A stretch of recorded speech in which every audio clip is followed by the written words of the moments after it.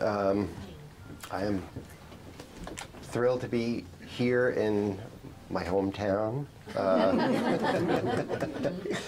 um, I thought for, for, for the reading tonight, just knowing um, that we've been messing with time a little bit um, in the past week and still getting used to the, the dark coming uh, earlier, and also that tomorrow begins um, hunting season, that I would pick a couple of passages uh, that uh, that demonstrate kind of the, the view of time that I think um, in working with the book, I uh, and, and then working through the editing process, I was struck by various editors and the various people who weighed in on the manuscript. Um, I, I started to sense kind of not an urban attitude, but an urban sensibility of time and place. And uh, and as I, as I was trying to, as I was fiddling with that, I, I, um, I started to get a little, not really defensive, but wanting, through the voice of a, a, a 16 year old, to justify a different sense of time. And um, so that's, those are the selections that I, I picked uh, for this evening. So um, I'm glad to see there are no kids. There are some swear words. All right. Uh, so in this in this part of the book, um, Ian's dog has has just arrived in his life. I thought I'd name him Hunter at first, since he knew how to take care of himself. But since he was eating mostly vegetables he found on his own, well, that's how I came to name him Gather. So, something I have to say is about the word gather. It means a lot of things, like gathering food, gathering your thoughts. When somebody who listens, somebody like the Sharp, when she asks you what it's like to grow up the way you're growing up, you gather together all these parts of your life and all these stories of things from way before, things that get mixed up with what's happening right then. Those stories don't come out like a goddamn timeline. They come out like compost, all the leaves, the coffee grounds, fireplace ashes, apple cores, tea bags, onion skins, eggshells, corn husks, potato peels. Everything that turned to dirt at one time or another, doesn't matter when. It belongs with whatever you've got growing out of it right there in front of you. Doesn't matter either if you're talking about sugar snap peas, tomatoes, pumpkins, or weeds. You can't go pulling all the dirt away from the roots, trying to put it in some kind of order so you can understand it your way. You kill it if you do that. Stories we tell come out like the way you walk the woods if you want to know it zigzagging, doubling back, maybe tripling. Sometimes enough to find out that the parts you know the least about are the parts closest to home. You don't make you don't just make some frigging beeline to some hill like you're trying to get your steps in. I just don't understand people like that. I don't think they're from around here. but I feel like you need to understand this. Our stories from around here come out like the way you keep we keep our work shed. You go in there, see what you have lying around, see some of it being old as hell, some of it being stuff you might even have had the money to buy for yourself. You move something, you find something else. You brush it off a little, then you use it or set it back down. But you need it all to piece together how things come to be the way they are now, how you come to be who you are. And when things go to hell in your own life, the word gather means something else all over again. Because there's a lot of good people, some who you know, some who you only just met. And the ones who matter, they listen. They gather on your side, and at least they try to help you, even if it might not work all, if it might not all work out. I know that for a fact.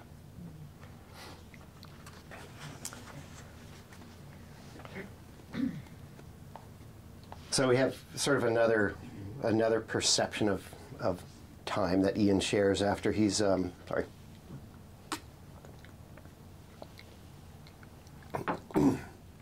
after he's uh, had an initial interaction with uh, with somebody who, well, I won't give anything away, but with with with uh, with some an initial interaction that's kind of off-putting.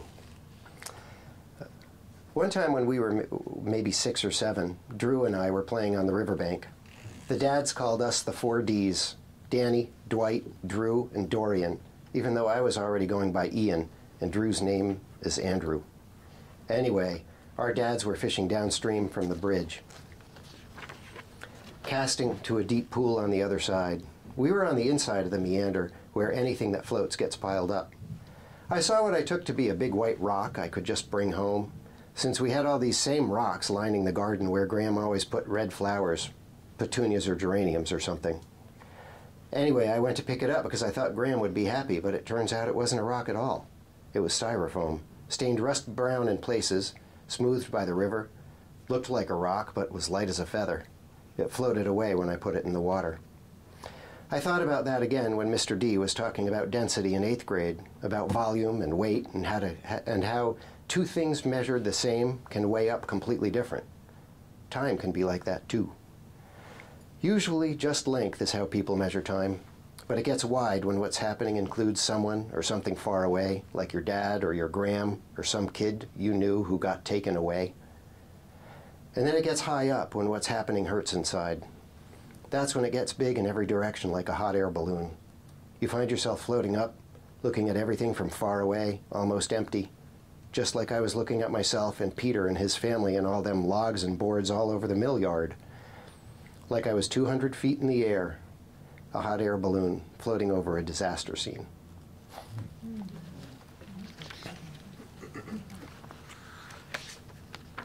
And let's see.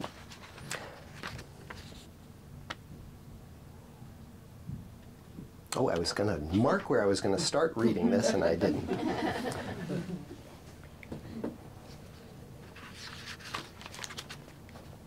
We'll find it in a second. So Ian's one of those kids who does not get great grades in school and doesn't particularly care. Me, I get my grades and I'm like, holy shit, I got a B. What the hell did I get that in? I only get A's in PE, to be honest, sometimes in art. Water and the land, that's what I notice and could get an A in if anybody cared.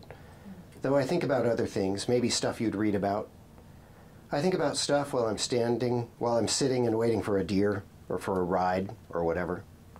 Do you ever wonder about stuff like if maybe one of them water, same water molecules that were in the river when Angel fell in has done its thing all over the world evaporated to a cloud, rained down, soaked into the ground, got sucked up by some pump into somebody's sink, sunk back down into the dirt, flowed into a spring, into a river, and out to sea, then steamed itself up into a cloud again. That whole water cycle thing is what I'm thinking about. I mean, do you ever wonder if some of them water molecules come back around to our same river more than once? If they have a memory of Angel falling in, right when they flow past that very same place again, all these years later. Seems bound to happen if you think about time. And I do think about shit like that.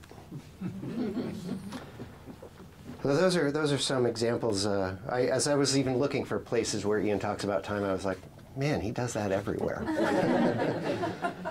and then uh, with I, I've the book had its kind of nascent way uh, in right around um, around the year 2000, I was doing a, an oral history on the uh, called a, "To Watch a Beautiful Day Go," an oral history of hunting in the Norwich Woods. And um, what really struck me was I was in a camp, and uh, there were some 13 and 14 year old boys, you know, usually pretty reticent, who were just actively partaking in all of these conversations, and uh, it was it was just so heartwarming to see. Um, and and some of the kids would say, you know, can you tell us the one about the, you know, whatever it was? And in that room, in that space, stories from 50 and 60 years ago were current. They were present. They were at, they were happening at the same time. And so hunting is um, so much of hunting. What I was struck by is so much of hunting is really it's it's not about the meat they're going to put in their freezer. It's really about being out there, um, and it's about the stories they tell. My Gramps now, he could tell some good stories. At least three years in a row, he and my dad brought me to deer camp, where once we got there, We did nothing but get out to the woods before sun, come back 9, 10 in the morning to warm up with coffee and pancakes, bacon, sausage, and stories, and go back out an hour or two before the sun dropped, maybe setting ourselves quietly along a deer run. Nights were more food, beer, or water, or whatever for the men not drinking, and more stories. Stories of hunts going back a hundred plus years. Stories people only remembered because they heard them being told, not because of being there. There might be talking everywhere. Somebody's loading the wood stove, somebody's cleaning a gun, a couple guys are looking at a topographic map. Might be a card game going on, but then you hear a story start and everybody stops and listens. Sometimes they'd let you have a try at telling your own. My third year, my third or so year at camp, I'm like, Gramps, can you tell the story about the guy trying to sneak up on the moose? Gramps says, Well, that's a, be- a story best told by Ansel. But it's Ansel's camp, and even though he wasn't with us during the days, on account of him driving around as a game warden, he'd come in after dark to be with us, then leave right after coffee in the morning. Anyway, Ansel, he says, Why don't you tell us that story, Ian? Let's see how you do. so I told him how this hunter's been tracking a moose, ginger stepping over twigs and through the understory all morning. He's got this vision of himself taking off his pack, setting up his rifle for the perfect shot, all quiet and patient. Once that moose finally stops to browse, and this hunter's thinking about moose sausage, steaks, burger, and stew, and he's planning on how to get the animal out of the woods, being that he's pretty far in. Well, imagine his surprise when he comes face to face with a big black bear, must be close to 400 pounds. Bears, you probably know, hate two things surprises and noise. And this black bear, he stands right up on his hind legs, and damn, he is tall. The hunter, he turns to run, which you're not supposed to do. But it's not two big strides before he trips over a wood stove, random lying on its side, just parked in the middle of the woods, halfway up a mountain in a white birch grove, miles from any camp, even more miles from any road. The guy lands on a bunch of metal chimney pipes, and they make such a racket, the, bear, the racket, the bear bolts off and runs over a cliff. Them pipes are all rusted to dirt now, but if you know where to go, you can still find that wood stove. They still call that place Stove Ledge. Ansel, he said I did all right, and everyone else was nodding, telling me storytelling must run in the family. It makes you feel like you belong.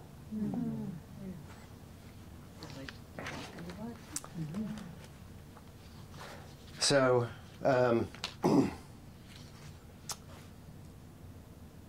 this this I think one of one of the things I've been struck by as the book's been out now for like six weeks, I guess, um,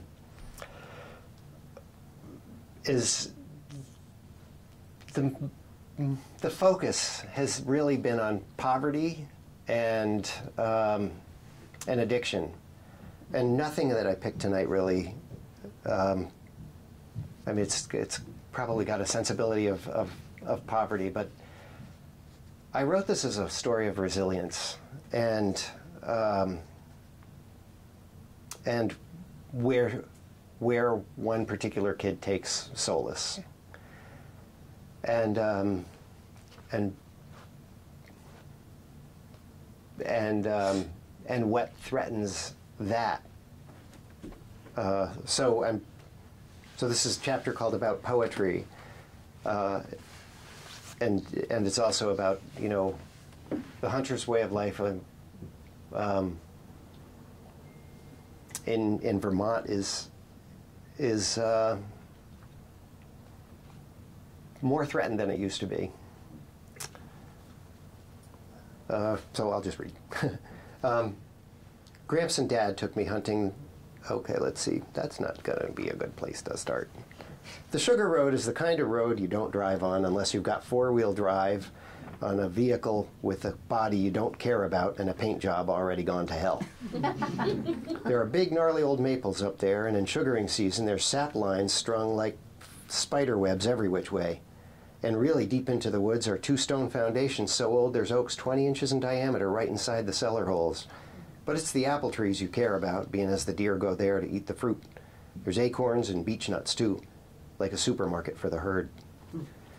Gramps and Dad took me hunting there pretty much from the time I could walk until Gramps died. There's nothing better than prowling through the woods, looking for every little thing and just listening. You might hear a chickadee or a woodpecker or a red squirrel or spot a coyote or a gray fox. You're up there sitting so still waiting for a deer, you get a little weasel to run across your foot without even knowing you're there. And I can tell you, you feel like you belong. I know, because exactly that happened to me during bow season when I was maybe eight years old. Well, belonging is the whole point of this. A ways up the sugar road, somebody had posted all that land. Above them, beautiful stone walls lining the road are all these bright yellow posted signs telling us we can't go there anymore. It is just so wrong.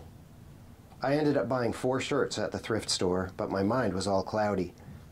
Who's rich enough to buy hundreds of, acre, of acres of hardwood forest just so they can tell the rest of the world they're not allowed to hunt on land they've been walking forever? Police take notice. Our ways get forgot. So that's what's still on my mind the next day when Mr. Charpentier tells us to find a poem we like and write one like it. This is pretty much what I come up with. Kept out of the woods on a snowy evening. Whose woods these are has made it clear he does not want me hunting here. I wonder, does he even know this stream, the trees, those rocks, these deer? The yellow signs give off their glow at every hundred feet or so. The posted land, it shuts me down, but I have no place else to go. I want to punch, I want to pound, I know this land for miles around. Over every hill, down every dell, I used to walk without a sound. But no one listens when I yell, although I have a story to tell of a way of life I loved so well, a way of life I loved so well. Of course, I didn't want to hand it in. I mean, the words just slid out of my pencil, and I was just, I was even shaking a little bit. So the next class Charpentier hands them back, and his notes on mine say, You have a way with words, Ian. Strong writing. Know that poetry has the capacity to change the world. Also consider the use of the apostrophe in your over every line. Think about how you would, could use an apostrophe to maintain the meter there. All I'm thinking, reading his comments, is that no way in goddamn hell am I writing over like I'm some old fashioned dude writing back 200 years ago. but he wrote some stuff too that I decided would make sense to change. So, what you just read there, that's not my first try, to be honest.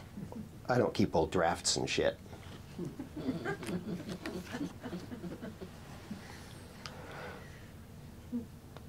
and then, all right, so I read Goodreads and I like to see what people think of the book. Um, and one, one person, um, one comment was that the person wasn't sure that it, was, it moved fast enough for teenage readers. And and uh, you know, my initial thought was, so what do you want? You know, do you want this to be a video game? so, when, if if we need our kids to slow down a little bit, what should we do? You know, who's going to be part of the solution here? So, um, so having come up with that snappy comeback in my head, I was like, so ha. Um, but this is a you know, and I guess the proof that, or the hope that this will resonate with kids is that I've seen kids talk about this. These are the kids that I teach. And I hear them talk about this. And after, you know, I know that when I get back to school after Thanksgiving break, I'm going to hear all the deer stories. I'm going to hear all the hunting stories. And it's, it's incredible to sit down and listen because this is the stuff they pay attention to. So Ian's gone out with a, it's right after Thanksgiving actually, and Ian's gone out with a for a walk with his dog Gather. So I'm set up in the woods on this log, and the air is as still as hell, and Gather's nosing around, crunching through the leaves, not finding much to eat, and I barely hear this tearing sound. I'm trying to figure out where it's coming from, and then I realize Gather, he's looking right at it. There's a huge frigging piece of bark that just at that moment is deciding it can't hang on anymore to its big dead elm. Hmm must be 12, 15 feet long, peeling back off and looping itself away from the trunk. We watch it drop, taking along a dozen rotted branches from a white pine and breaking up and folding on itself as it comes down. That's the thing. People are like, who cares? But you don't think about how this stuff ends up on the forest floor. Leaves, sure, that's obvious, especially in fall. But branches and bark and all that, you don't really think about it. Outside of a big windstorm, it's just plain unusual to see something big like that drop in the woods all by itself on a still day. Except it isn't all by itself. There's life going on between the bark and the dead trunk of the dead tree. When you really want to know the woods, you care about things like that. Gather thought so too, being as how once that bark hit the ground, he goes over and sniffs it. That's the kind of thing you tell most people they couldn't give a shit. But I could have told that to Gramps, or Ansel, or even Drew and they would have known what I was getting at. It's rarer than seeing a shooting star. It's the difference between knowing about the woods and knowing the woods. That's what I think.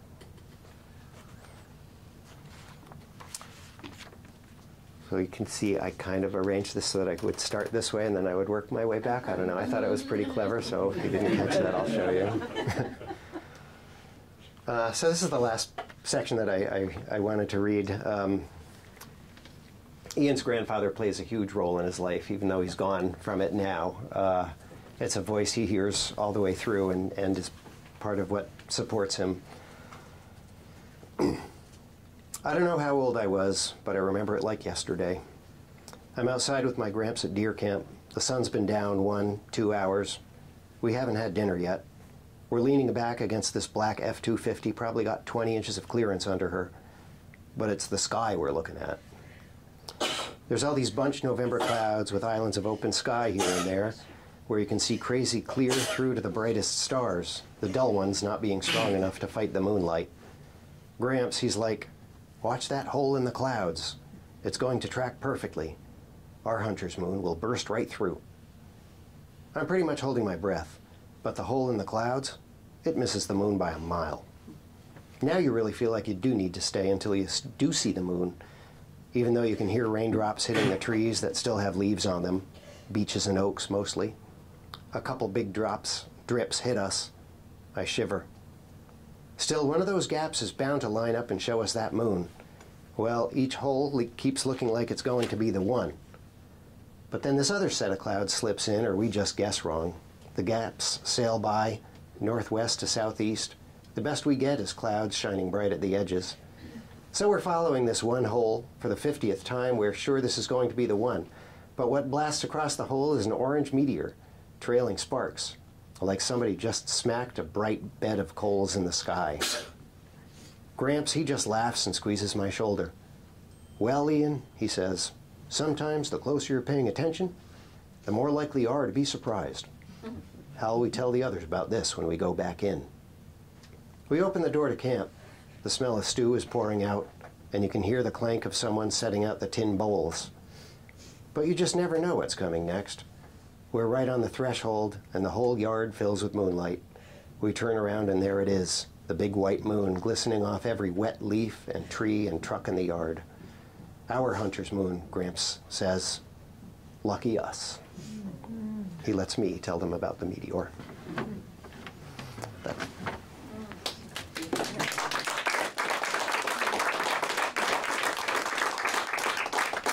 Thank you. Thanks. Yes. How did you find that shirt that matches your? I actually did not realize the extent of it, but uh, Farmway, Arborwear. Um. Can I ask a question about deer hunting? Mm-hmm. Well, you know, we're so overpopulated with deer, and people complain all the time they're eating all their gardens and stuff. Why don't we? Why isn't there a movement that has not yellow, but some other green signs that say deer hunting encouraged? I mean, I. Yeah, yeah. I, you know, I, I, I think you should write a letter. that that uh, deer have been something, and uh, worse in um, worse in in uh, the village, I think, even than out by, by our house. And for yeah. like 30, 20, 30 years ago, there were hunters all over the place, and mm. just don't see any now. Yeah, well, they go, you know, they go looking for, I think, bigger bigger tracts of land, and and um, there's a lot of, and those are getting a little harder to find. Uh, Everything's yeah. posted. And the deer are smart. That's one thing that, uh, you know, that I that I learned from interviewing hunters is it's their turf, and they they uh, I think what they figured out is this is you know Norwich Village is a lot safer than up uh, Bragg Hill, and yeah. Uh, Karen? First of all, I'm, I'm almost done and I just love this book. Oh, thank you. I hope I didn't give anything away. you didn't, actually. Um, and I love the details, just the, oh, there's so many details in this book that I just feel like I could just, I'd want to read it again sometime. And I like that it goes slow because it is just chock full of the stuff to look at. Oh, thank you. But that was my, my question. I don't know how to ask this question exactly, but like Ian is so Ian, you know, and I, I'm just curious about like what the relationship is between you and Ian, or how you. He's got this voice that that must live inside you, or all these years that you wrote this book. I'm just curious how that works. Does that make sense? Yeah. Um, it grew on me too. And when I was first writing it, uh, I started when about four months, um, almost to the day before we shut down for COVID, and and um, and so I would work on it weekends, sort of six hours on Saturday, six hours on Sunday, from very early in the morning until um, like until I was afraid that I was going to miss the dump or something, and uh, and so what I would do to make sure the voice stayed consistent was I would go up and um, and for the minutes just read the very first opening lines uh, that were his, and for maybe, and I'd read them aloud, and Pompey heard them, but nobody else. My dog, Pompey, yeah, and and. Um,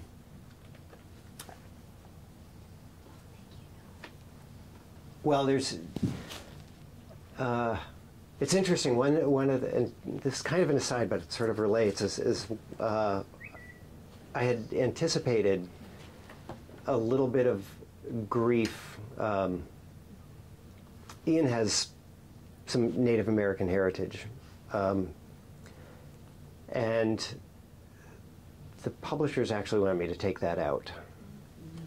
And they and the thing was,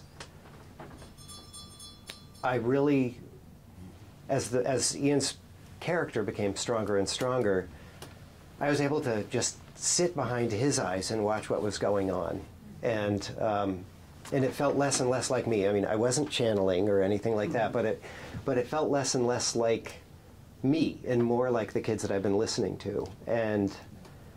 Um, and so I did. I backed out almost all of it, and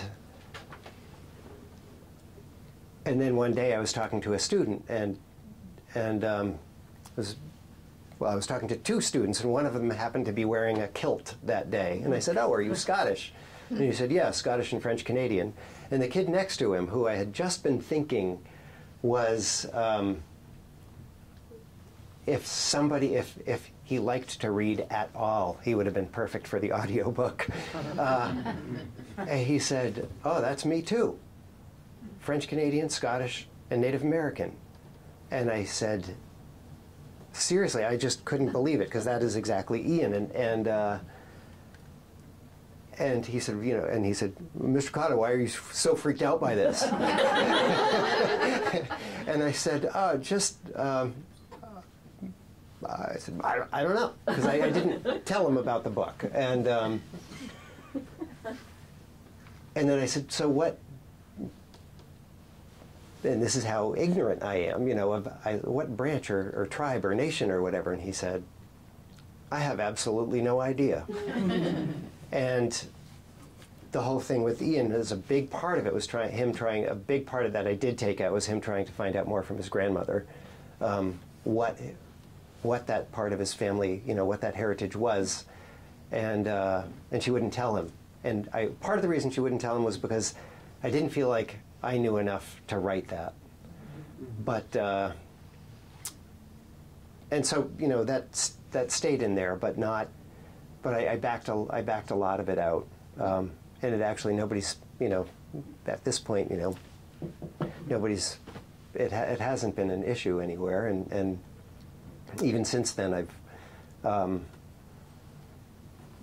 I've talked to a number of students who know they have uh, Native American heritage, and just yesterday, I, yeah, yesterday was Thursday, um, I was talking to a, a kid who didn't know if it was Mohawk or Abenaki, but he knew he had Native American heritage.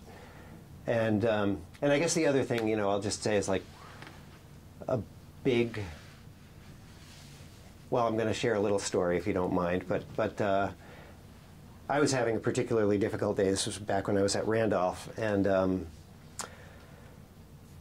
and I went into I shut the door to my office, and I had a bathroom off my office, and, and I went into the bathroom and I splashed my face with water, and the knock on the door, and and one of the co-principals says, "Ken, can you?" John wasn't his name, but was having a really hard day. Can you just calm him down? So I open the door. my my hair is wet, my face is wet, and I'm like, "Let's take a walk." That's what I said to, to John, and um, and so we took a walk, and we walked. We left the building. We walked around the fields and neither one of us talked for a while. And then we got to the back of Ayers Brook by by uh, by that surrounds the Randolph campus, and and finally he told me how much he hated his dad, and um, and we so we sat down, and he just said he he wants he wants to bail his family out. And then we got back in. I was like, "Hey, you think you're ready to go back for class?" And it was probably an hour, and. Uh, and he said, "Yeah." And then the co-principal said, "Hey, you're, so you're the you're the John Whisperer. What did you say?" And I said, "I didn't say anything. I was just listening." And I think that's what they're just, you know, so many kids are just so desperate for. So, so it was a lot of listening that turned into to Ian. No particular kid, but yes, Sharon. Well, what I wanted to say, or what I've what I've felt reading it, and I'm within maybe an hour of finishing it. Yeah. Um, is that I grew up. I just called you Sharon, and I know Yeah. that you're Tracy. I'm Yes, sorry. That's okay. That's okay. Haven't seen you in a while. Yeah. Um, I grew up with Ian. He was my friend, my neighbor, my Hmm. classmate, my first boyfriend, my second boyfriend. I knew a lot of Ians growing up in the Upper Valley Hmm. uh, a long time ago, and yet still, and I've I've like you listened to and worked with a lot of Ians and a lot of their female and now gender neutral counterparts, and um, I just am so moved and often to tears by as I'm reading by how you have given him and them a voice. Thank you. Yeah, it's just it's just extraordinary. Thank you. Thank you. Johanna. And Ken, you did that in a believable voice, a real, authentic voice, but you made lyrical poetry of it at the same time. Hmm. And it wove together perfectly. I was in awe Oh. that those two things could coexist. Hmm.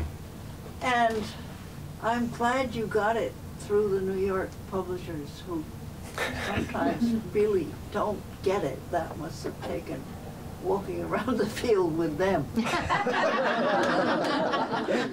well, so I, I did have, I did have uh, one of the copy editors wrote and said, Ken, it's you know late November, there the leaves don't have any trees on them, and and I wrote back and I said beeches and oaks, and then I went out with my phone and I took like. 5,000 pictures of be- beeches and oaks that still had a lot of brown and yellow leaves on them and, and sent them back to Actually, were you in New York or was it Candlewick? It's Candlewick, yeah, out of Bo- It's yeah, Boston? it's Boston, yeah, yeah. A little better. And Candlewick has a very strong Vermont presence too, which is really Oh, wonderful. yes. Yeah. Hmm. Kathy, So to, to follow up on Karen's question um, about you know, you're, you you have incredible observational skills. I mean, he's talking about the observations, like the, the Jeff just wrote me, read me this morning the the, the part of um, the the bark falling off the tree. And do you recall when you were that age, paying attention and noticing that? Yeah. Um, we moved. I was in a way. Uh, I didn't think of it at the time that way because I had. We moved from Poughkeepsie, New York, and our house backed up to 100 acres of old growth forest. It was just an incredible place to grow up. And we moved to Rhode Island where I didn't know anybody and didn't really relate to most of my class. And um, I spent a heck of a lot of time. I feel like the woods was my therapist. Uh, and I would go and make, you know, kind of odd for a 15 year old maybe, but make, you know, rafts and things on this little stream that flowed through the woods along these mossy banks. And, and uh, just, I knew where the, um, oh boy, the lady slippers would come up and the, the bones, boneset or, and, or whatever, the, and Joe Pye weed. I knew where all of that stuff was going to come up. And, uh, and it was really, I didn't get to know the folks too well in that part. We moved. Uh, we were only there for maybe four years, but um, but I got to know the woods. Yeah. Lucky me. yes. Um, so I, I'm in, I was here the day your book came out and I bought a copy of it, like six weeks ago. Oh, And. I have not read it, like all these other lovely people, because I teach English, and so I read nothing at a, at a high school, at the high school. Um, and I actually really appreciate what you said about this, the sacredness of storytelling and the storytelling culture, and I'm so glad that you kept the indigenous Oh. piece. And I think the fact that you embedded with that the mystery of the kids and the and their, the origin of their Native American because that is validating ah. of what we've done. Mm. And mm-hmm. I just mm-hmm. finished teaching and in an indigenous mythology unit. I just taught. I just finished teaching ceremony Oh yes. by Leslie Marmon Silko Yes. which I cannot more highly recommend. It was profound and life changing. Mm-hmm. You know, just it was amazing, Mhm. and my students loved it, and I loved it, and Mhm. it was just a really powerful experience. And it, like, I want to go home tonight and start reading your book because I, and I, I feel like, I feel like it's just going to be. Like, so thank you for Oh. writing the book you did, and thank you for maintain, you know, for holding course on Ah. the you know pieces that you've been. Thank you.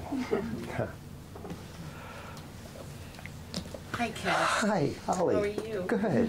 Um, I, I just wanted to mention that, you know, this is incredible work connecting to this generation that you've done, but I really appreciate the uh, savoring of a disappearing Vermont.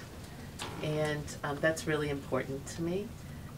I have recently joined the Corinth Select Board, Aha. and I'm feeling real time as people who are large landowners shut off their land and Mm. want public roads thrown up and trails closed.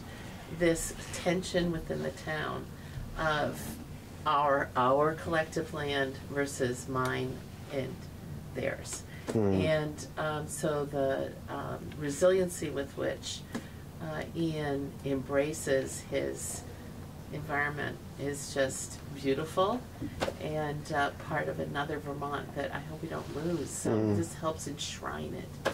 And I really appreciate that. Oh, Thank you. Well, we didn't get a chance to say enough nice things about Ken at the beginning, but we, we won't belabor the point now. But I want to thank, first, first of all, thank all of you for coming out tonight, and I want to thank Ken Cadow for being with us this evening, and for all that he does in this community, and for writing this beautiful book. Many of you have it already. If you don't, tonight is a great opportunity to get it. Um, folks, Gather was recently nominated. In fact, on the day it came out, it was announced that it was nominated as a, a, a, a nominee for the National Book Award in Young People's Literature. And just a couple of weeks ago, it made the short list. This book is a finalist for that incredibly important award. Um, so a little a little piece of Vermont going out to this big global stage. We here at the Norwich Bookstore are, are incredibly proud of Ken. We're incredibly proud of this book, and thank you to all of you for being a part of it. And thank you again, Ken, for sharing it with us. Let's give him a big round of applause. Thank you.